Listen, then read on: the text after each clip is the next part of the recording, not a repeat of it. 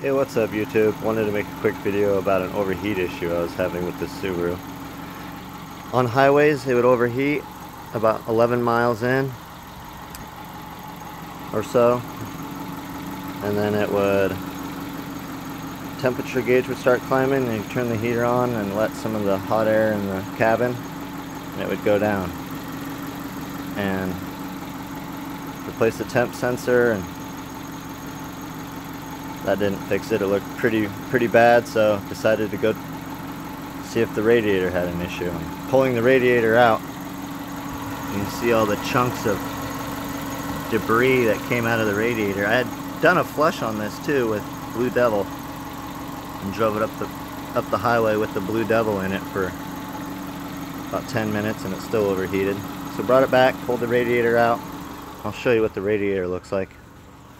This is the front side of the radiator that goes towards the cold air as you're driving. And if you can see, it is just caked. Caked with dirt, dust, and road debris. And this was causing air not to be able to get through the radiator and cool the engine.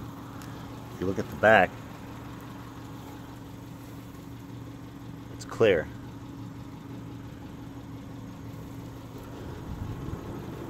Front side?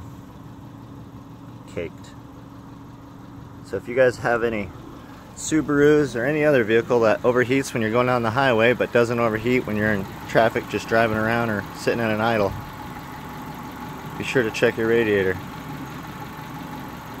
Over time of not doing radiator flushes gunk and rust gets built up in there and doesn't let it flow well, I just thought I'd make this quick video to hope it helps you all out.